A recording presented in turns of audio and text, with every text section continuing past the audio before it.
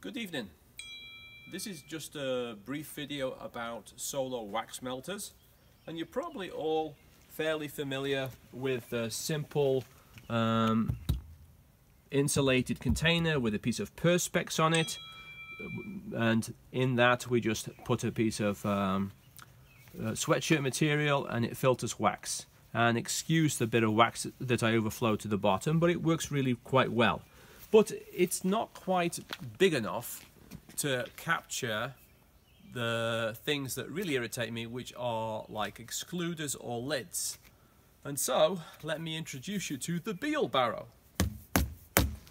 so this is um, a decent American made union wheelbarrow.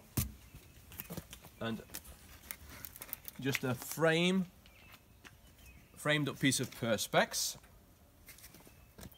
What's another word for perspex? Oh, jeez, I've forgotten. I've forgotten. What's making Clear plastic. Clear plastic. Oh, sorry, clear plastic. Yes.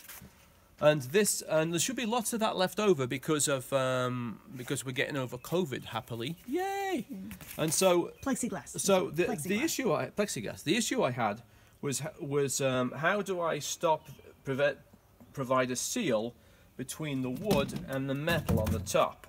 We're not going to talk about me cutting the wood on the wheelbarrow and actually cutting into the wheelbarrow, which needed made more of a seal.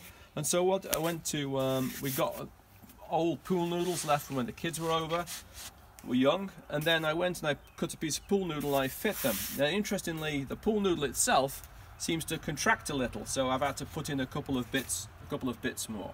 Excuse me. Oh well.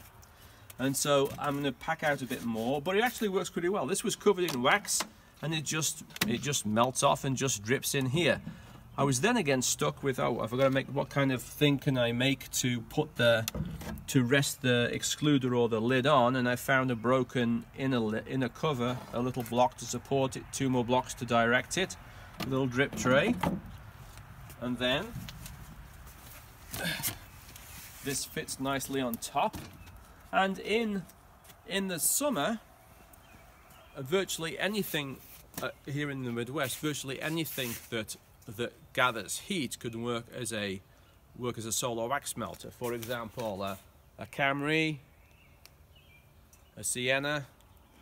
But that's really pushing the limits of my tolerant wife, so we'll stick to the Beelbarrow.